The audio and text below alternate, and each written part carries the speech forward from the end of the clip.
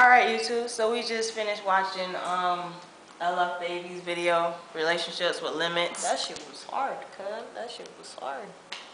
Um, my take on it. Well, I wasn't really paying attention because I was trying to like rinse my mouth out with I salt was, water. though. I was.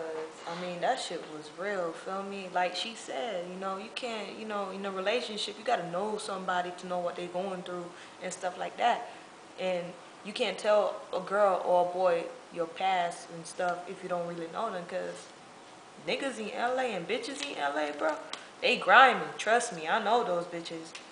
Yeah, I'm straight, but I feel you, cuz. So that was a straight perfect perspective. I can never say that word. Perspective, Perspective. Um, the gay perspective.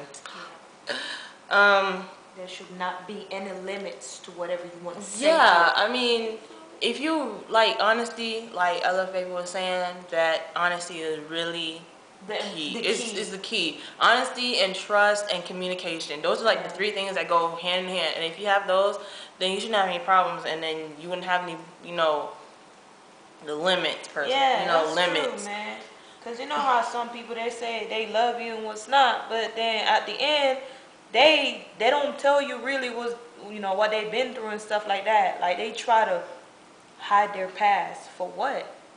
I mean, Yeah, because then now. when you hide your past, it's like, then eventually you have to tell that person that you're with. You have to tell them that, you know, this and this, who's or what's he happened in the past.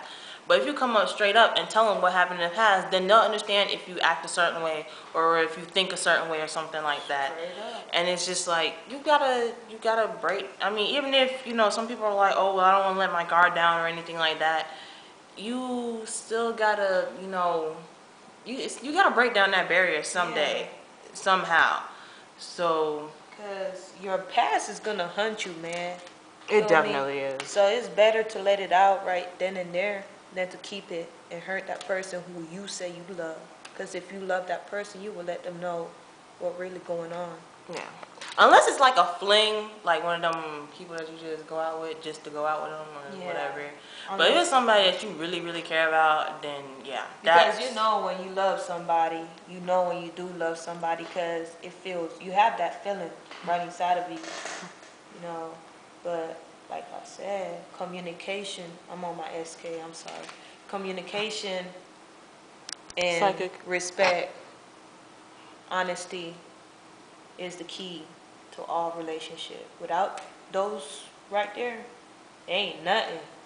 Call it what you want to call it. It ain't a relationship for me. Straight up from the Tonga. but yeah, that's our video response. Hope y'all like it. Deuces.